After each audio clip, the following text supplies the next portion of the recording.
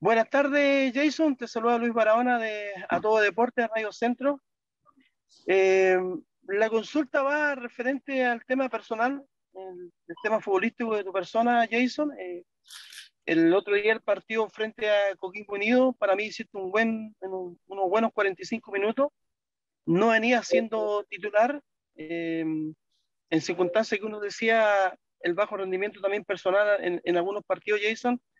Ahora lo que viene en este reinicio de torneo, ¿cómo estás tú eh, físicamente, futbolísticamente para enfrentar partidos decisivos, partidos decisivos en el torneo? Hola Luis, buenas tardes. Eh, a todos primero que nada. Y en relación a tus preguntas, sí, obvio. El, tema de que me hayan dejado en, en la banca es, es, producto de mi bajo rendimiento. Uno tiene que ser bien autocrítico y lo, lo he sido siempre los, los años que, que, llevo acá en el club. Siempre he intentado dar el máximo en, en, todos los partidos, en cada entrenamiento, pero uno no siempre tiene, tiene la cabeza bien, bien en, en, todos los, en todos los aspectos, sino que temas personales que, que tuvieron ahí un, un, me tuvieron un poco ido desde de, de, principio de, de, temporada, pero gracias a Dios ya se, se solucionó todo y, y ahora estamos con las pilas recargadas al máximo y, y me encuentro físicamente muy bien, futbolísticamente también. Eh, este partido que viene es una oportunidad así, para todos los que, que no venimos jugando. Con, con Coquimbo hicimos las cosas muy bien, pero no, no, no pudimos lograr la clasificación y ahora hay que abocarse de lleno en, en el torneo que, que sin duda vienen fechas muy importantes. La segunda pregunta, Jason, es referente a, a, lo, a la eliminación de, la, la Copa Chile. Se habla mucho también de la partida del técnico, se habla mucho de, que el equipo no anduvo en ese torneo. Eh, usted, la interna, ¿cómo, lo ven? Eh, cuando se habla mucho que el técnico puede partir por los malos resultados. Me imagino que usted también ahí conversan, que también hay responsabilidad compartida esa eliminación de Copa Chile y algunos partidos que también no han podido hacer buenas presentaciones, tanto de local, que lo que a uno le interesa es que siempre el cuadro Puma abroche y gane los puntos de local.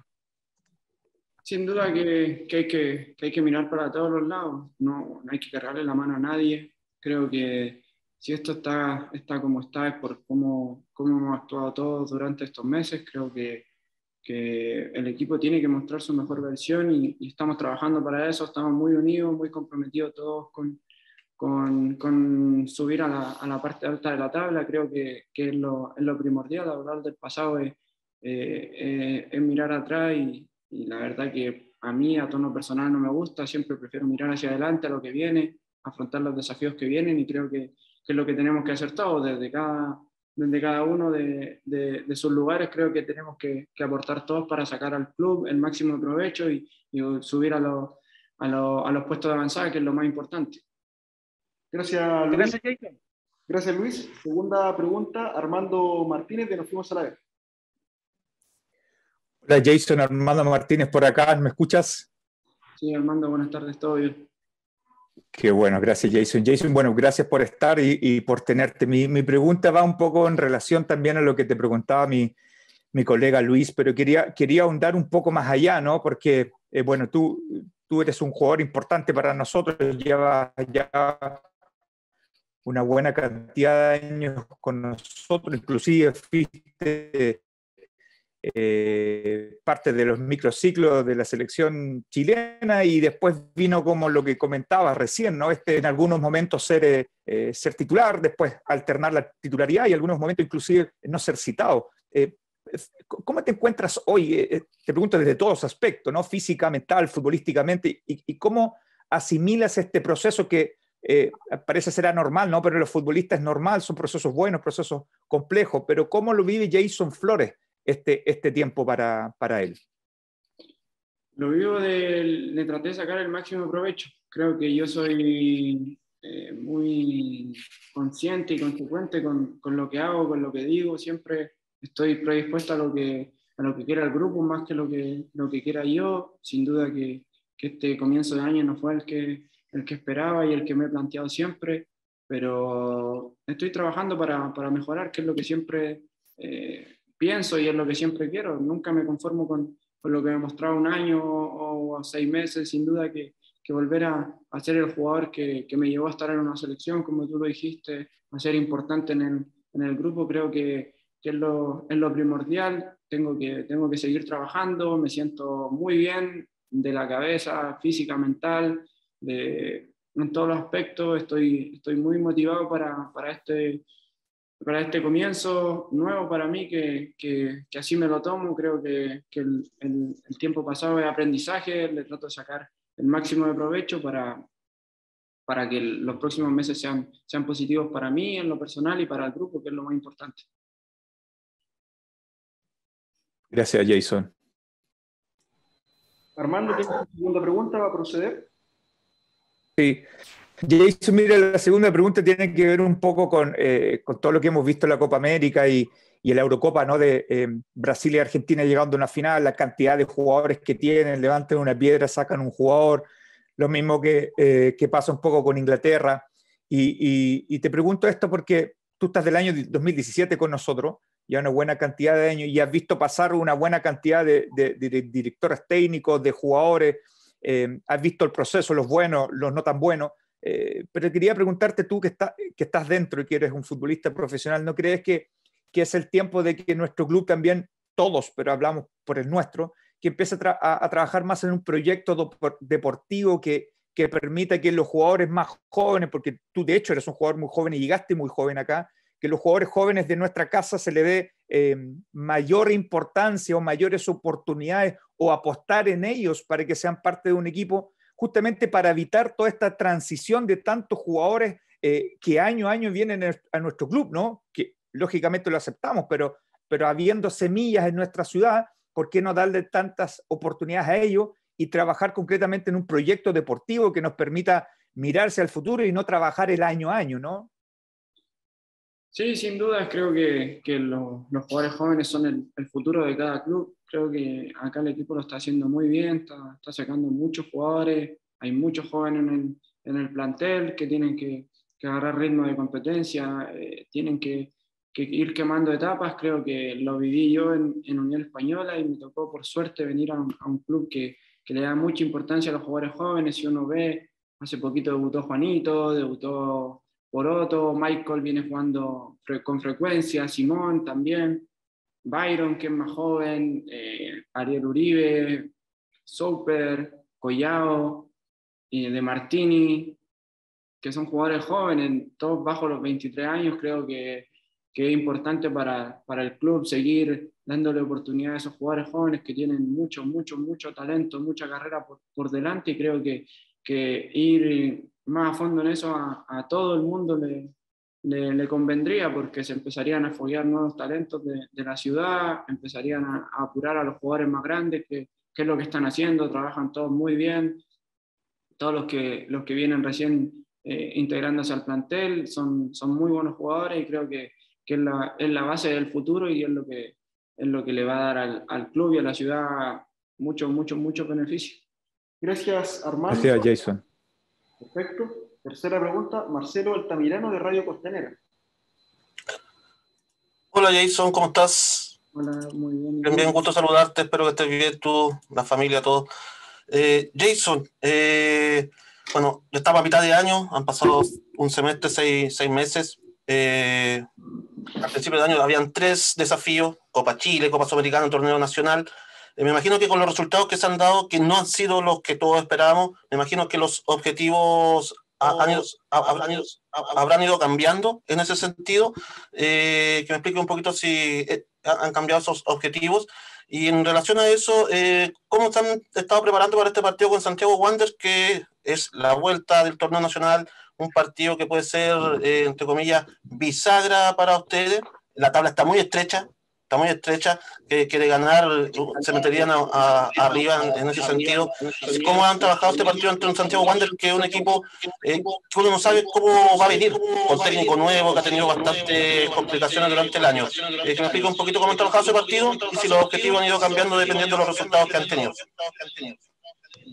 Bueno, primero hay que, hay que ser optimista hay que, con, con, las dos copas que, que quedamos afuera, creo que no es responsabilidad solo de, solo de, ya solo de, ya solo de, ya solo de, ya solo de, eh, por favor, silenciarse Radio Costanera, que se dobla el audio, por favor.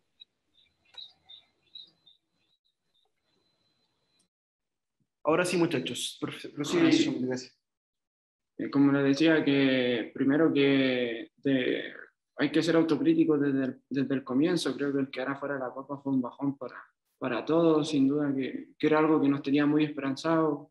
No nos tocó eh, meternos en la fase del grupo y hay que ser autocríticos también, no solo por, por, por tema de cuerpo técnico, también los jugadores tenemos, tenemos gran parte de la culpa porque tenemos que, que buscar soluciones cuando no las hay. Creo que, que, que en las dos copas en, Copa Chile creo que tuvimos un poco de mala suerte en la vuelta. Al que le tocó ver el partido creo que tuvimos cuatro chances claras y no, no pudimos convertir, hasta un palo por ahí, un mano a mano, un cabezazo. Y, nos llegaron una vez y fue penal. Creo que en eso tuvimos un poco de mala suerte, pero ya está. Como siempre digo, no hay que mirar hacia atrás y que hay que... Los nuevos objetivos siempre, siempre han estado, que estar en la parte alta de la tabla. Tenemos un plantel muy importante, muy bueno en, todo, en todas las líneas. Creo que que lo importante es abocarse a lo que viene esta fecha y, ir paso a paso, siempre, siempre lo he dicho, primero es, Wander y después se verá lo que, para qué está el grupo, creo que, que Wander es un rival muy, muy, muy, muy complicado, viene, no viene de una, una racha de partido importante ganando, pero sin duda que, que, va a ser un rival muy, muy difícil, la mayoría de los rivales que nos vienen a jugar acá se, se vienen a meter atrás, a, a esperar el, el, sacar un, un, resultado, un punto, algo de acá, pero sin duda nosotros tenemos que, que ser protagonistas y, y, sacar eh, los tres puntos de acá de, de, local, que es lo más importante. Gracias, Edison. Marcelo, ¿tiene su segunda pregunta? ¿Va a proceder? Sí, eh, no, con algo que está muy, muy de moda, Jason, el, el, tema del retorno del público a los estadios. Me imagino que ustedes como jugadores también eh, lo extrañan, lo extrañan, me imagino que es diferente el jugar eh, con público, sin público. Ya ha pasado eh, un año y medio que me imagino que en un comienzo era algo extraño, novedoso, pero me imagino que a esta altura ya también lo están extrañando. ¿Y cómo ves tú la vuelta al estadio de los hinchas? Sin duda, que, como tú dices, nosotros somos los que más extrañamos que, la gente esté en, la galería, que esté en tribuna. Creo que eh, es algo que, el fútbol es el complemento perfecto de, de, del fútbol. Sin duda que lo, extrañamos, que todos queremos que, que vuelva la gente a los estadios, pero no depende de, de nosotros. Si dependiera de nosotros, créeme que, que daríamos mucho, mucho porque la gente volviera, porque aparte de, de, estar jugando por esta camiseta es una motivación extra que te vea tu familia, que te vean tus seres queridos desde la tribuna, que la gente como te grita, eh, es una motivación extra y uno, uno lo extraña, la echa de menos, llevamos casi dos años sin, sin público en, en cancha y, y, sin duda que, que algo que, que queremos que, que, se, que se resuelva luego y que, que hayan soluciones luego al respecto para que no, no, no sigamos jugando sin público. Gracias, Marcelo. Última dos consultas. Daniel Cabañas, de Mucho Fútbol. Hola, Jason. Eh, muy buenas tardes, ¿cómo te encuentras? Hola, Daniel, ¿todo bien? ¿Tú? Muy bien, gracias. Aquí muy, muy contento de poder volver a ver Antofagasta este, bueno, este viernes. Eh, respecto a eso, eh, sé que estas semanas han sido de mucho trabajo, Hola, hola. Mucha motiva de mucha motivación para ustedes y quería saber qué aspectos o, eh, se trabajaron durante este tiempo, eh, aspectos anímicos o solamente futbolísticos, y si se sienten eh, confiados para recuperar esa regularidad que habían mostrado en campeonatos anteriores y que, bueno, a pesar de buenos pasajes que se han visto en este semestre, eh, no se... No, bueno, desde mi perspectiva o desde algunos hinchas, no se ha, eh, no se ha reflejado lo que se venía trabajando en procesos anteriores. Y no sé qué me puedes decir respecto a esto, si en las facetas que se trabajaron durante estas semanas para enfrentar el partido el viernes. Sí, sin duda que, que venimos trabajando mucho, no hemos, no hemos, tenido días de descanso, hemos, hemos abocado al tema futbolístico, al, al, tema anímico, como tú decías, que, que, es algo muy importante cuando uno está yendo la cabeza todo. Todo surge eh, positivo y creo que, que esta, esta, semana han sido futbolísticas de, de, los partidos locales que muchas veces son los que, que más nos cuestan por, por temas de que se nos vienen a meter atrás, como decían antes que no, no, nos salen a jugar de igual a igual y, y eso es lo que, lo que hemos estado mejor, eh, trabajando, como, perdón, que estamos trabajando para, para, para, mejorar ese aspecto de poder resolver situaciones adversas, de poder proponer mucho más de lo que, lo que se venía proponiendo antes y como tú decías, y agarrar una regularidad importante para meternos de lleno en la parte alta de la tabla.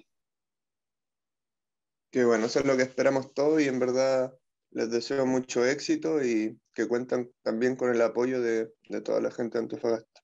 Y como segunda pregunta, quería hacerte a ti más individualmente eh, respecto a tus objetivos personales para lo que queda de campeonato, cuáles son, y eh, está en aportar al grupo, no sé, hacer goles, asistencia. Bueno, sé que todo eso forma parte de ti, pero, pero yo creo que como futbolista ustedes se proponen algo a inicio a inicio de campeonato y cómo va eso en, en tu vida?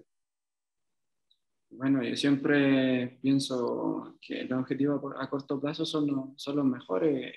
Ahora agarrar regularidad, meterme de lleno en el equipo titular, volver a, a agarrar confianza con, con, mis compañeros, volver a, a, disfrutar en una cancha que, que, igual llevamos varias semanas sin, sin poder jugar. Eh, y, es, y, es, muy importante eh, para mí estar, estar contento, estar, estar a gusto y eso es lo que, lo que siempre he reflejado y es lo que quiero volver a, encontrar. Sin duda que, que este partido, eh, este y todos los que vienen son oportunidades para, para demostrar que, estamos para, para pelear ahí arriba, que es, lo que, que, es lo que quiero, que es lo que espero y es lo que, es lo que sigo trabajando. Sin duda que, que de mí siempre van a encontrar el, el, máximo en cada, cada partido. Eh, toca dar asistencia, si me toca marcar, creo que es beneficio del equipo y siempre, siempre puesto el, el, el, bien grupal más que el bien personal, siempre en todos los aspectos.